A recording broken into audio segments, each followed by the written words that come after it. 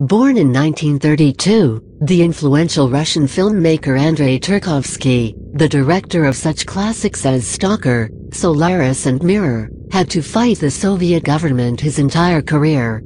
His masterful films was considered too provocative and anti-Russian, therefore he wasn't allowed to make the films he wanted, at the pace he wanted. He was forced into exile in the early 80s. Tarkovsky left Soviet with his wife, but wasn't able to bring his teenage son.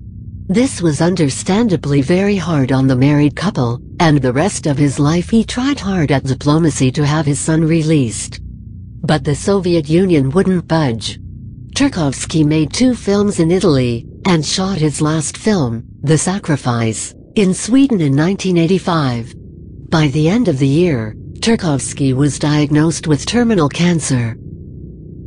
In February 1986, 30 years ago, the Swedish Prime Minister Olof Palme was assassinated in Stockholm, Sweden. He was on his way home from a cinema visit with his wife. Andrei Tarkovsky was finally recognized in the Soviet Union in the autumn of 1986, shortly before his death.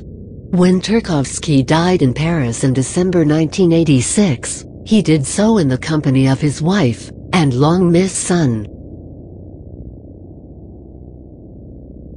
Men du satt i bilen, du såg det här på avstånd, du hann aldrig få någon bild av, av mördaren förutom möjligtvis då kroppslängd och kroppstyp liksom? Jo, jag såg han när han sprang in i gränden och eh, samtidigt så har man ju sett bilder på Christer Pettersson när han sprang in i Sollentuna centrum. Jag vet inte om du ska få det själv på ja, just Aktuellt eller Rapport. Mm. Och eh, det här är en kopia av den som sprang iväg i, i den gränden. Alltså. Att, eh.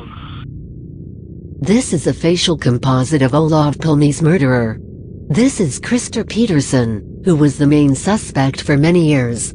He was pointed out by Palme's wife as the murderer, but Pettersson was eventually cleared from all charges. This is Andrei Tarkovsky,